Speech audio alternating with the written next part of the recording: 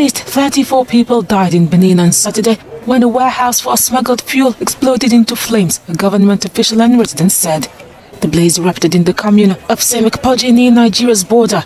Local media report that the prosecutor's office has launched an investigation. Benin's interior minister was among the officials who visited the scene. As I speak, we have unfortunately recorded 34 deaths, including that of two babies.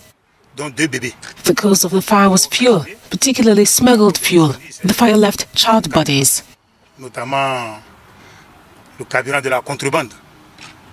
We have also recorded 20 injured who've sustained injuries of varying seriousness.